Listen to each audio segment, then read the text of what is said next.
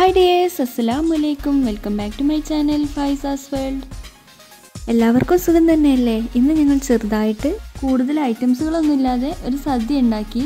അപ്പോൾ കുട്ടികൾക്ക് ഭയങ്കര ഇഷ്ടമാണ് സദ്യ കഴിക്കുക എന്ന് പറഞ്ഞാൽ അപ്പോൾ കുറച്ച് അത്യാവശ്യം പച്ചക്കറികളൊക്കെ വീട്ടിലുണ്ടായിരുന്നു. അപ്പോൾ അത് വെച്ചിട്ട് ചെറിയ തോതിലൊരു സദ്യ ഉണ്ടാക്കി. സദ്യ വീട്ടിലുണ്ടാക്കിയാൽ ഇല വെട്ടിക്കൊണ്ടുവരാനും അത് വിളമ്പാനൊക്കെ കുട്ടികൾക്ക് ഭയങ്കര ഇൻട്രസ്റ്റ് ആണ്. അവർ അതിനുള്ള എല്ലാ കാര്യങ്ങൾക്കും അവർ തന്നെ മുൻകൈ എടുത്തോളും. ബിരിയാണി നെയ്ച്ചോറൊക്കെ വെക്കുന്നതിനേക്കാൾ കുറച്ച് പ്രയാസമാണ് കേട്ടോ ഈ സദ്യ ഉണ്ടാക്കൽ കഴിക്കുമ്പോൾ നല്ല രസമാണ് പക്ഷെ ഉണ്ടാക്കുന്ന കാര്യം കുറച്ച് റിസ്ക്കാണ് ഇടയ്ക്ക് മക്കൾക്കൊരു പൂജയാണ് സദ്യ കഴിക്കാൻ അപ്പോൾ ഇതുപോലെ ഉള്ള സാധനങ്ങൾ വെച്ചൊന്ന് ഉണ്ടാക്കാറുണ്ട്. ഇന്നത്തെ സദ്യയിൽ സാമ്പാർ അവിയൽ കിച്ചടി പിന്നെ കൂട്ടുകറി പിന്നെ കാളൻ മോര് പായസം പപ്പടം ഇതൊക്കെയാണ് ഉണ്ടായിരുന്നത്. മോളും ഇക്കയും കൂടിയാണ് സദ്യ വിളമ്പുന്നത്. മോനവിടെ പായസം പാരുന്ന തിരക്കിലാണ്. ചെറിയ ആൾ അവിടെ ഇവിടെയൊക്കെ നടന്നിട്ട് ഇല വലിക്കാനൊക്കെ നോക്കുന്നുണ്ട്.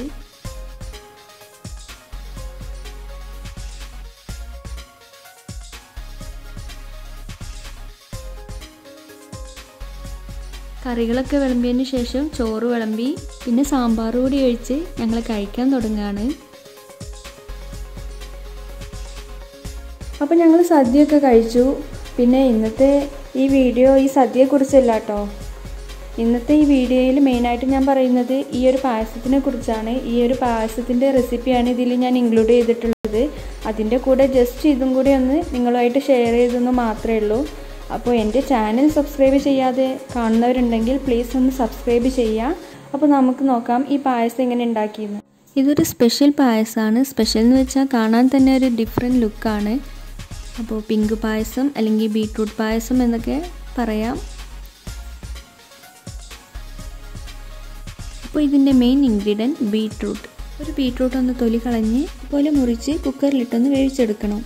ഈ സമയം അടുപ്പിൽ കുറച്ച് വെള്ളം വെച്ചിട്ട് കുറച്ച് സാബൂനരി അല്ലെങ്കിൽ ചൊവ്വരി എന്നൊക്കെ പറയും അതൊന്ന് വേവിച്ചെടുക്കണം. ഇത് കഴുകി വൃത്തിയാക്കിയതിന് ശേഷം തിളച്ചുകൊണ്ടിരിക്കുന്ന വെള്ളത്തിലേക്ക് ഇട്ട് കൊടുക്കാം അതിലേക്ക് ഒരു പിഞ്ച് ഉപ്പ് കൂടി ആഡ് ചെയ്ത് നന്നായിട്ടൊന്ന് ഇളക്കി കൊടുക്കാം. ഇത് കൈവിടാതെ ഇളക്കി കൊടുക്കണം. അല്ലെങ്കിൽ കട്ട കുത്തിപ്പോവും. അപ്പോൾ ഈ സമയത്ത് ഇതിലേക്ക് ഒരു ആറേഴ് ഏലക്കായ കൂടി ചതുക്കിയിട്ടിട്ടുണ്ട് കുക്കർ ഒരു മൂന്ന് വിസിൽ വന്ന് ആവി പോയതിന് ശേഷം ബീട്രൂട്ട് ഒന്ന് കോരിയെടുക്കാം. ബീട്രൂട്ട് കോരി മാറ്റിയതിന് ശേഷം അതിലുള്ള വെള്ളം നമ്മുടെ ഈ സാബുനരിയിലേക്ക് ഒഴിച്ചു കൊടുക്കാം. ഇത് നന്നായിട്ടൊന്ന് മിക്സ് ചെയ്തെടുക്കാം.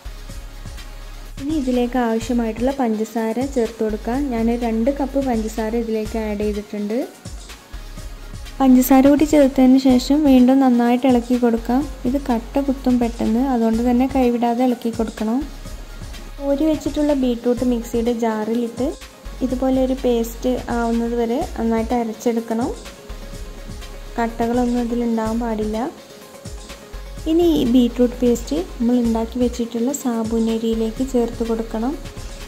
എന്നിട്ട് നന്നായിട്ട് വീണ്ടും കൈവിടാതെ ഇളക്കി കൊടുക്കുക. ഇനി ഇതിലേക്ക് കുറച്ച് പാലൂടെ ആഡ് ചെയ്യണം. ഇവിടെ ഞാൻ ഒരു ലിറ്റർ പാലാണ് എടുത്തിട്ടുള്ളത്. അത് സാവധാനം ഇതിലേക്ക് ആഡ് ചെയ്ത് അതിന്റെ കൂടെ ഒന്ന് ഇളക്കി കൊടുക്കുകയും ചെയ്യുക. ഈ പാൽ ഒഴിക്കുമ്പോൾ നമ്മുടെ പായസം ഒരു ലൈറ്റ് പിങ്ക് കളറായി വരും. ഒരു നല്ല രസമുള്ളൊരു കളറാണ് അപ്പോൾ അതുകൊണ്ട് തന്നെ ഇതിനെ പിങ്ക് പായസം എന്ന് വിളിക്കാം.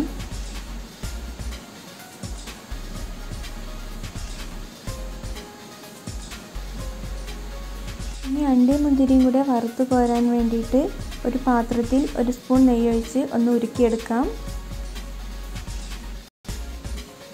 നെയ്യ് നല്ലോണം ഉരുക്കിയതിന് ശേഷം കുറച്ച് അണ്ടി ആഡ് ചെയ്യാം.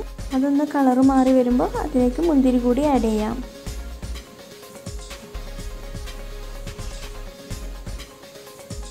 അപ്പോൾ പായസത്തിലേക്ക് കുറച്ച് മിൽക്ക് മെയ്ഡ് കൂടി ചേർക്കുകയാണ്. ഇതിലേക്ക് മിൽക്ക് മെയ്ഡ് കൂടി ചേർക്കുമ്പോൾ ഒരു അടിപൊളി ടേസ്റ്റാണ് അതിന് ഈ പായസത്തിലേക്ക് എന്ന് മാത്രമല്ല ഏതൊരു പായസത്തിലേക്കായാലും മിൽക്ക് മെയ്ഡ് ചേർക്കുമ്പോൾ ഒരു പ്രത്യേക ടേസ്റ്റാണ്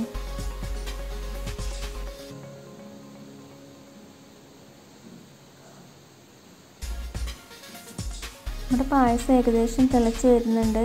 ഇത് നല്ലോണം ഒന്ന് തിളച്ചതിന് ശേഷം നമുക്ക് സ്റ്റൗ ഓഫ് ചെയ്യാം.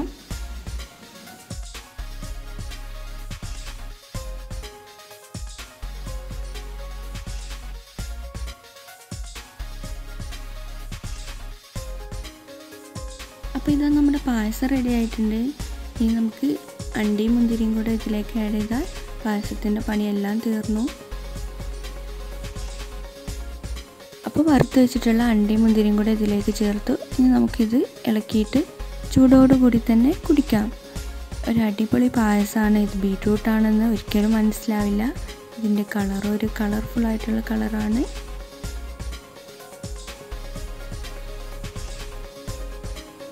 അപ്പോൾ എല്ലാവരും ഈ ബീട്രൂട്ട് പായസം ഒന്ന് ട്രൈ ചെയ്ത് നോക്കണം. നല്ല അടിപൊളി ടേസ്റ്റി ആയിട്ടുള്ളൊരു പായസമാണ് ഉണ്ടാക്കാൻ അത്ര ബുദ്ധിമുട്ടില്ല. കൂടുതൽ സാധനങ്ങൾ ആവശ്യമില്ല. പുതിയ പുതിയ ഐറ്റംസുമായി ഞാൻ വീണ്ടും നിങ്ങളുടെ മുന്നിൽ വരും. അതിനു മുൻപ് എന്റെ ചാനൽ സബ്സ്ക്രൈബ് ചെയ്യാതെ കാണുന്നവരുണ്ടെങ്കിൽ പ്ലീസ് ഒന്ന് സബ്സ്ക്രൈബ് ചെയ്യുക. അതിന്റെ കൂടെ കുഞ്ഞു ബെല്ലൈക്കൺ കൂടി ഒന്ന് അമർത്തുക.